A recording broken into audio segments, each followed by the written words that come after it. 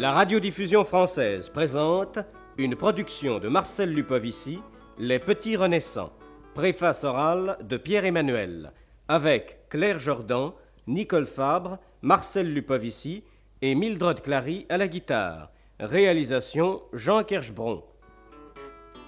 Aujourd'hui, Louise Labbé.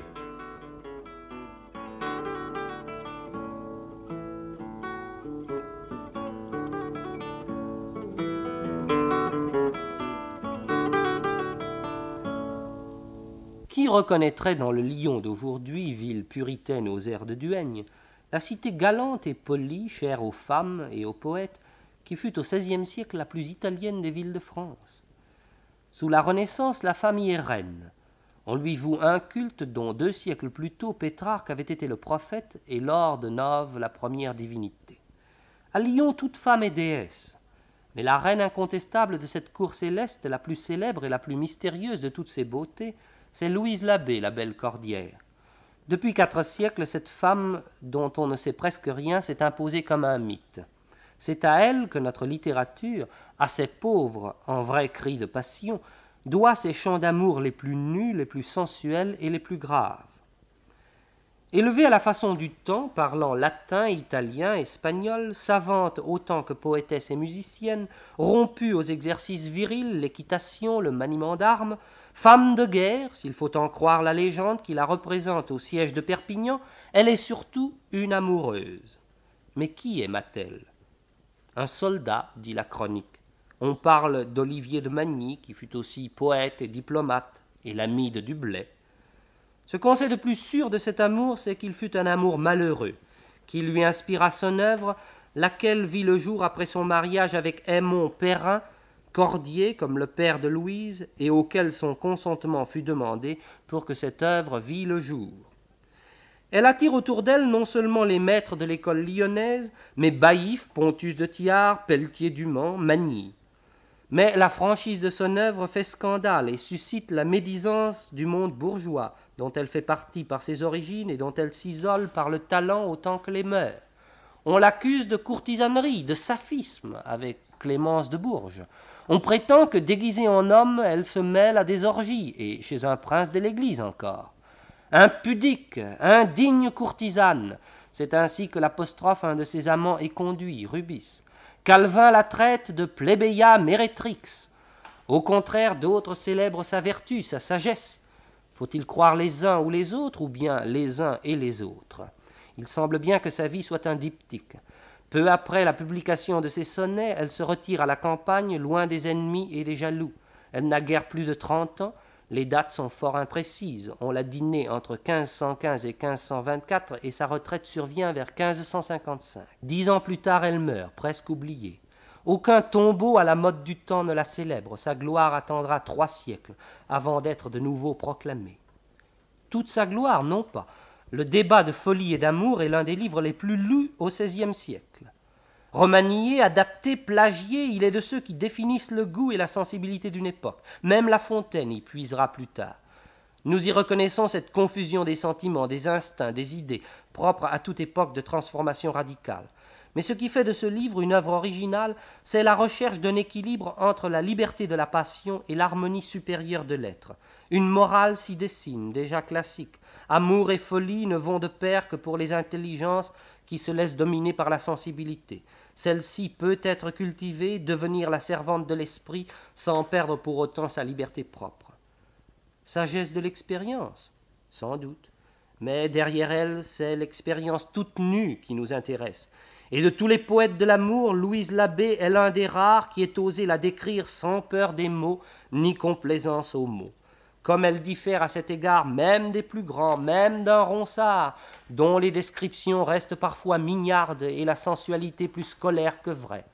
Pour les poètes hommes, le corps de la femme n'est que forme et couleur, grâce lascive et attendue, dont le catalogue fatigue. On sait tout ce qu'ils vont dire, le moment venu, des yeux, de la chevelure, des seins. Pour Louise Labbé, ce corps est le sien, elle connaît le plaisir et comment il s'allie au mouvement plus profond de l'âme. Elle ne s'attarde pas à se décrire, elle exprime cette énergie de l'amour qui est l'une des plus hautes formes de vie. l'émotion que l'homme ne saura jamais décrire, celle de la femme désirante, possédée ou délaissée dans sa chair, la force interne que mûrit la passion et dont l'ardeur même comblée n'est jamais tout à fait sans souffrance, Louise Labbé la crie au moment même qu'elle l'éprouve, et cette plainte serait étonnamment impudique si elle n'avait la justesse et la sévérité du naturel.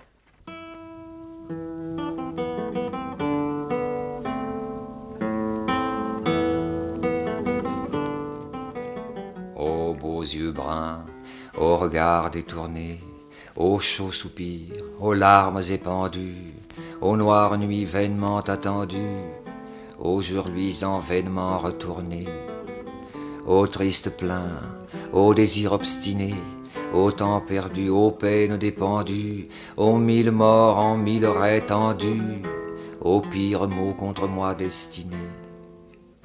Ô riz, ô front, cheveux, bras, mains et doigts, ô luttes plaintifs, viol, archet et voix. Tant de flambeaux pour ardre une femelle. De toi me plains que tant de feux portant, en tant d'endroits d'isseux mon cœur t'attend. N'en est sur toi volé quelque étincelle.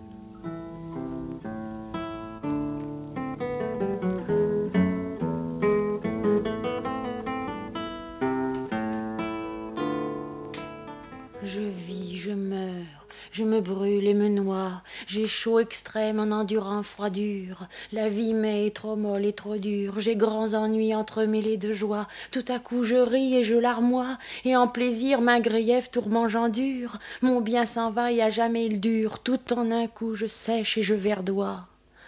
Ainsi amour inconstamment me mène, et quand je pense avoir plus de douleur, sans y penser, je me trouve hors de peine. Puis quand je crois ma joie être certaine et être en haut de mon désir et heure, il me remet en mon premier malheur.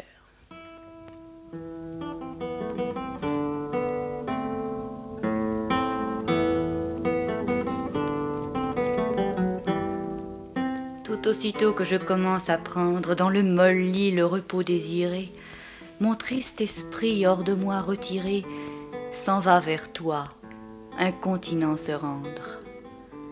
L'orme est ta vie que dedans mon sein tendre, je tiens le bien où j'ai tant aspiré, et pour lequel j'ai si haut soupiré, que de sanglots et souvent cuit défendre. Ô doux sommeil, ô nuit à moi heureuse, plaisant repos plein de tranquillité, continuez toutes les nuits mon songe et si jamais ma pour âme amoureuse ne doit avoir de bien en vérité, faites au moins qu'elle en est en mensonge.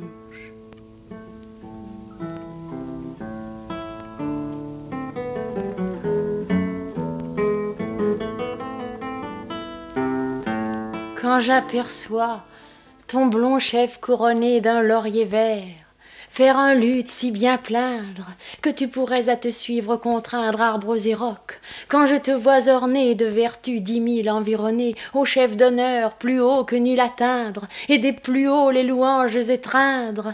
Lors dit mon cœur en soi passionné, tant de vertus qui te font être aimé, qui de chacun te font être estimé, ne te pourraient aussi bien faire aimer. Et ajoutant à ta vertu louable ce nom encore, de maître pitoyable de mon amour doucement enflammé.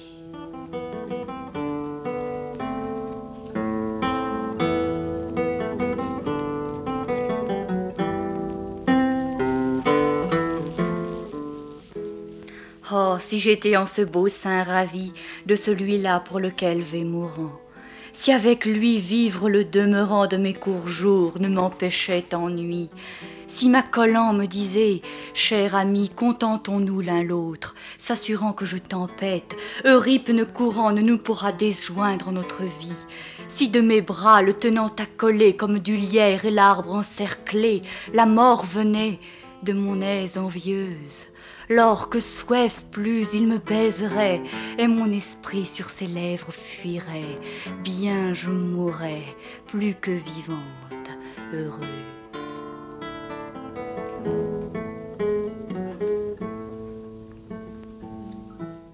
Tant que mes yeux pourront larmes épandre, à leur passé avec toi regretter, et qu'aux sanglots et soupirs résister pourra ma voix et un peu rire entendre, tant que ma main pourra les cordes tendre du mignard lutte pour tes grâces chanter, tant que l'esprit se voudra contenter de ne vouloir rien, fort que toi comprendre, je ne souhaite encore point mourir, mais quand mes yeux je sentirai tarir, ma voix cassée, ma main impuissante, et mon esprit en ce mortel séjour ne pouvant plus montrer signe d'amante, prierai la mort noircir mon plus clair jour.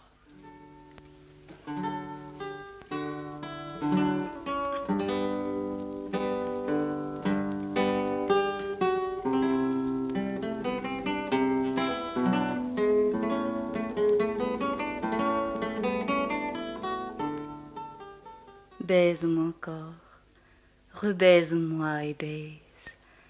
Donne-moi un de tes plus savoureux, donne-moi un de tes plus amoureux. Je t'en rendrai quatre plus chauds que braise. Là, te plains-tu? Ça que ce mal j'apaise en te donnant dix autres doucereux, ainsi mêlant nos baisers tant heureux, jouissons-nous l'un de l'autre à notre aise. L'or double vie à chacun en suivra, chacun en soi et son ami vivra. Permets, m'amour, penser quelque folie. Toujours suis mal, vivant discrètement, et ne me puis donner contentement si hors de moi ne fait quelque saillie.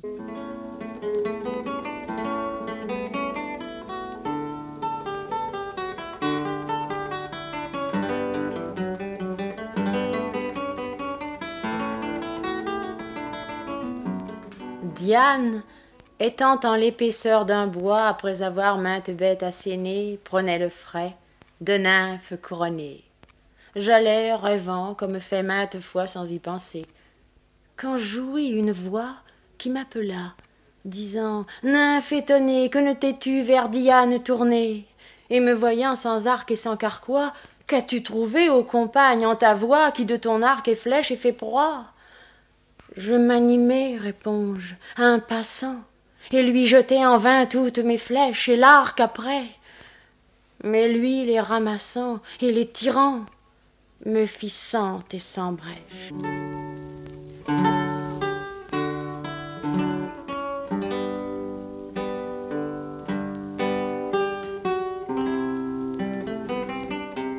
Las, que me sert qu'aussi parfaitement loua jadis et matresse dorée, et de mes yeux la beauté comparée à deux soleils, dont amour finement tira les traits causes de ton tourment. Où êtes-vous, pleurs de peu de durée, et mort par qui devait être honoré ta ferme amour et itéré serment? Donc c'était le but de ta malice, de m'asservir sous ombre de service. Pardonne-moi, ami, à cette fois, étant outré et de dépit et dire. Mais je m'assure quelque part que tu sois, qu'autant que moi tu souffres de martyr.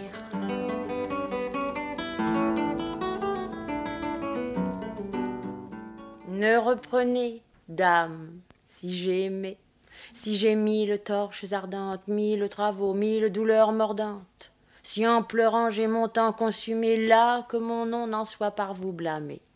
Si j'ai failli, les peines sont pressantes, négrissez point leurs pointes violentes, mais estimez qu'amour à point nommé, sans votre ardeur d'un vulcain excusé, sans la beauté d'Adonis accusé, pourra, s'il veut, plus vous rendre amoureuse, et ayant moins que moi d'occasion et plus d'étranges et fortes passions. Et gardez-vous d'être plus malheureuse.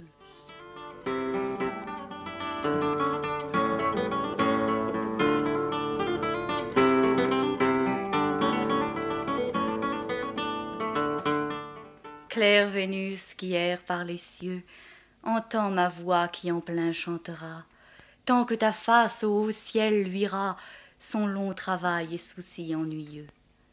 Mon œil veillant s'attendrira bien mieux, et plus de pleurs te voyant jettera, mieux mon lit molle de larmes baignera, de ses travaux voyant témoin tes yeux. Donc des humains sont les lassés esprits, de doux repos et de sommeil épris. J'endure mal tant que le soleil luit. Et quand je suis quasi toute cassée, et que me suis mise en mon lit lassée, crier me faut mon mal toute la nuit.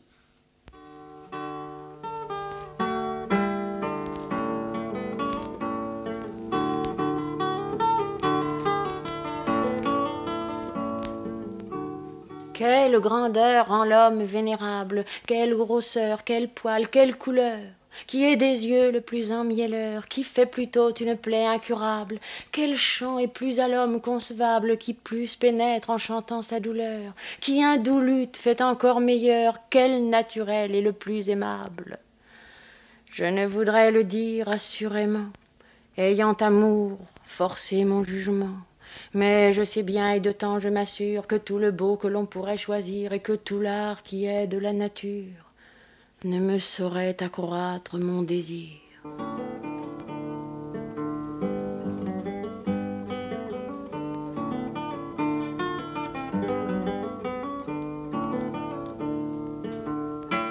Ô doux regard, ô yeux pleins de beauté, petit jardin plein de fleurs amoureuses, où sont d'amour les flèches dangereuses, tant à vous voir mon œil s'est arrêté. Ô cœur félon, ô rude cruauté, tant tu me tiens de façon rigoureuse, tant j'ai coulé de larmes langoureuses, sentant l'ardeur de mon cœur tourmenté. Donc mes yeux, tant de plaisir avaient, tant de bons tours par ces yeux recevaient. Mais toi, mon cœur, plus les vois s'y complaire, plus tu languis, plus on a de soucis. Or devinez si je suis aise aussi, sentant mon œil être à mon cœur contraire.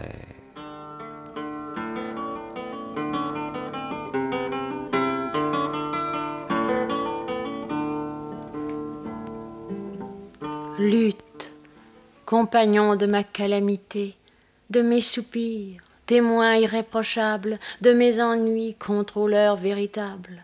Tu as souvent avec moi lamenté, et tant le pleur piteux t'a molesté que commençant quelque son délectable, tu le rendais tout soudain lamentable, feignant le ton que plein n'avait chanté. Et si te veux efforcer au contraire, tu te détends et si me contraintère, mais me voyant tendrement soupirer, donnant faveur à ma tant triste plainte, en mes ennuis me plaire suis contrainte, et d'un doux mal, douce fin espérée.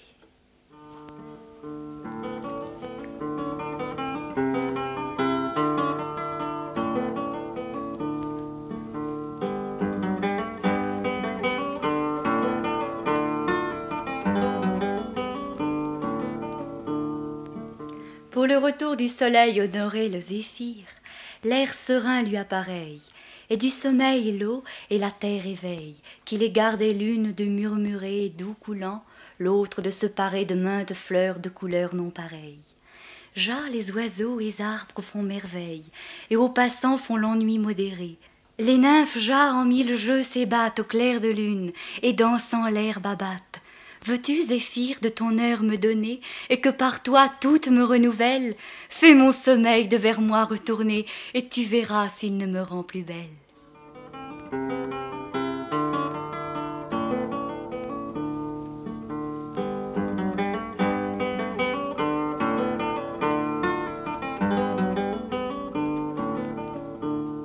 Je fuis la ville, et temple et tout lieu, et qu'elle prenant plaisir à l'ouïr plaindre, tu peux, et non sans force me contraindre de te donner ce qu'estimait le mieux. Masques, tournois, jeux me sont ennuyeux, et rien sans toi de beau ne me puis peindre, tant que tâchant à ce désir éteindre, et un nouvel objet faire à mes yeux. Et des pensées amoureux me distraire des bois épais sur le plus solitaire, mais j'aperçois, ayant erré maint tour, que si je veux de toi être des livres, il me convient hors de moi-même vivre, ou fait encore que loin sois en séjour.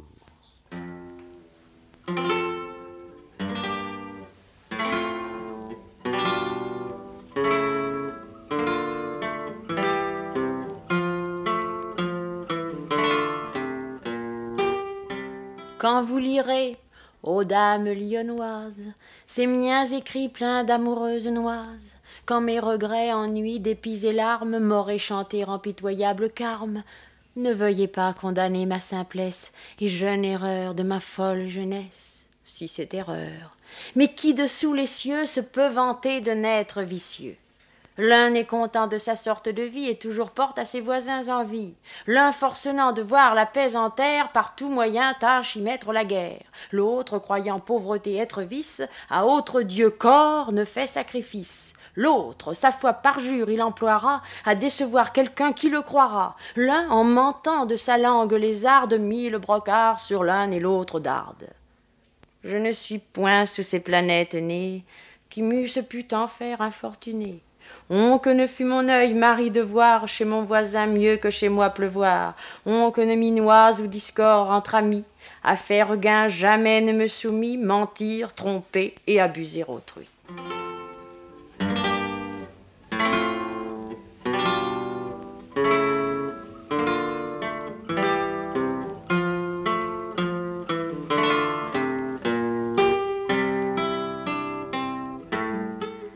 Tel vouloir, le cerf point ne désire la liberté, ou son port le navire.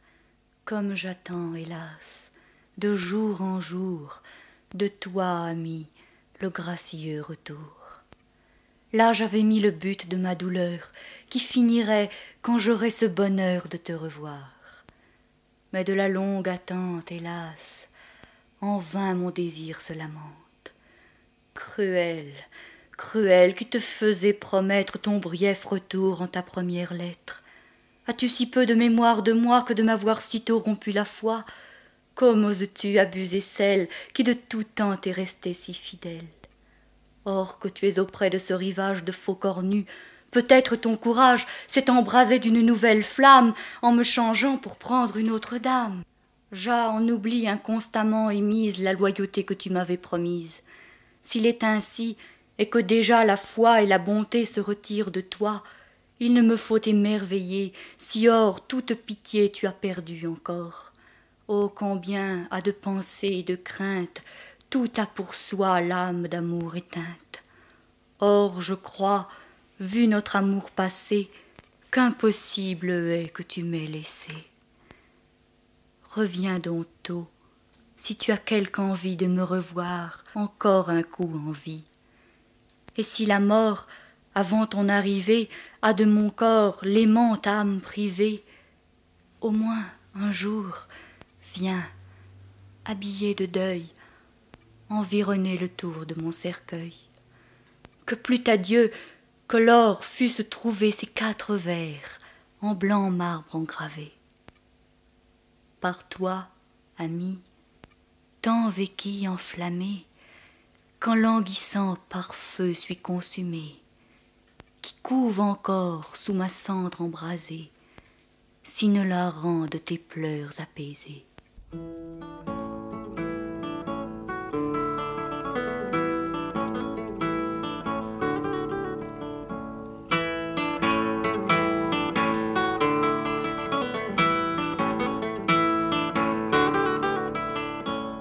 La radiodiffusion française vous a présenté une production de Marcel Lupovici, Les Petits Renaissants, préface orale de Pierre-Emmanuel, avec Claire Jordan, Nicole Fabre, Marcel Lupovici et Mildred Clary à la guitare. Réalisation Jean Kerschbron. Aujourd'hui, Louise Labbé.